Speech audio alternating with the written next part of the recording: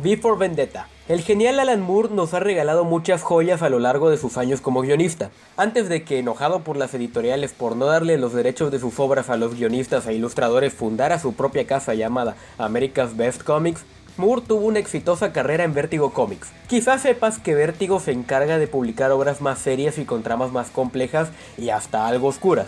Siendo subsidiaria de DC Comics, esta editorial nos ha regalado muchas de las más grandes historias de talentosos autores. Entre ellos destacaremos ahora a Before Vendetta, aunque esta no es una historia original de Vértigo, pues tanto Moore como Lloyd la hicieron mucho tiempo antes en su natal Inglaterra para la revista Warrior. Sin embargo, fue gracias a esta editorial que esta obra se dio a conocer a todo el mundo con su reimpresión a color. Before Vendetta es una obra que debes leer por lo menos una vez en tu vida. Elegida por muchos como una de las más grandes obras de la historia de la narrativa gráfica, está de más adularla pues es una mezcla de emociones, buenos trazos y gran narrativa que nos hacen ansiar más sobre la historia. Alan Moore y David Lloyd son una de las mejores parejas que han desfilado en la historia de las novelas gráficas y eso se nota en cada página.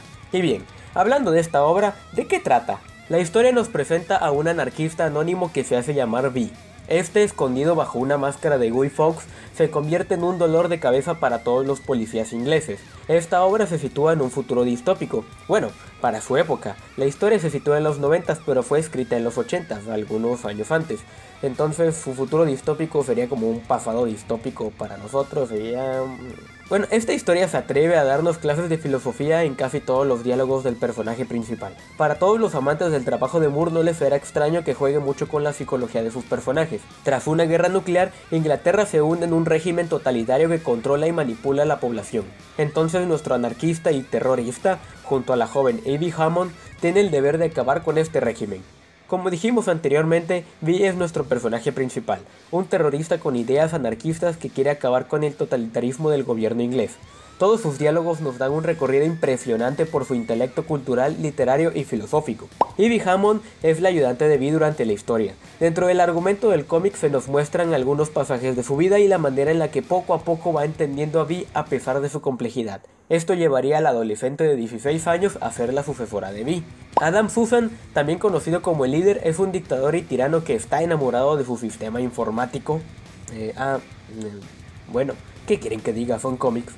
Y está también Eric Finch, que es el jefe de Scotland Yard y el ministro de investigaciones del gobierno. A pesar de trabajar con el gobierno, es honorable y decente, aunque también es la persona en la que el líder más confía.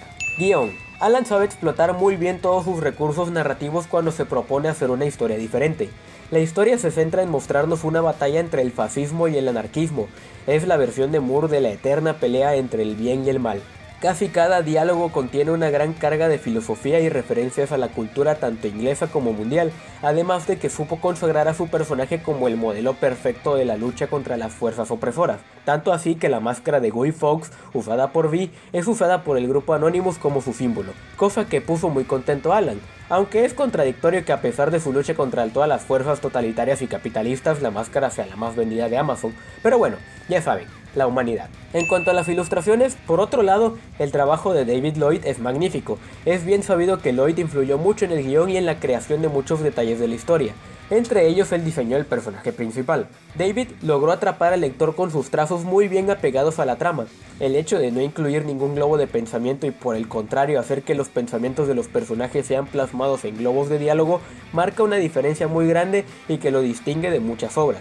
Lloyd sirvió no solo como soporte para Moore, sino que aportó muchas de las cosas significativas que incluso llegan a ser tema de debate entre los críticos de cómic. Sin embargo, debemos destacar el trabajo de ambos, pues tanto Moore como Lloyd nos regalaron una de las obras maestras de la narrativa gráfica. ¿Te recomendamos leer esta historia? Sí, así sin más. Ni siquiera sé qué haces viendo esta reseña cuando en estos momentos podrías tener un tomo de Before Vendetta en tus manos.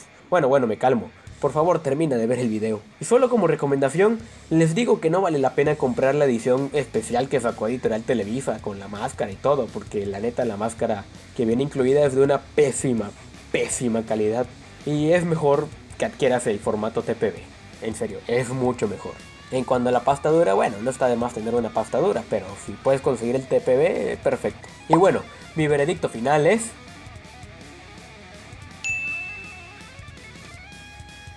Como ven, cambié la forma en la que califico los cómics, ya que pensé que hacerlo con números estaba muy pasado de moda y hacerlo con estrellas o likes no me dejaría satisfecho. Así que espero que les guste esta nueva forma. Volviendo a la obra maestra, la catalogo dentro de este nivel, ya que creo que Before Vendetta es una obra imprescindible que está a la altura de otras grandes como Watchmen o Sandman. Así que, ¿qué esperas? Ahora sí ve a conseguir tu tomo de Before Vendetta. Y bien, esa fue la reseña del día de hoy. Espero que les haya gustado. Si tienen alguna obra que les gustaría que critique o más bien reseñe, criticar se escucha muy feo, por favor déjala en los comentarios y yo me haré cargo de leerla. No olvides seguirnos en nuestras redes sociales y date una vuelta por nuestra página web, en donde encontrarás mucho contenido cool. Yo soy Jorge Valder, nos vemos. ay, ay, ay. Bueno, si escucharon rara mi voz es porque tengo algo de gripa y... Ay, no puedo ni hablar. Bye.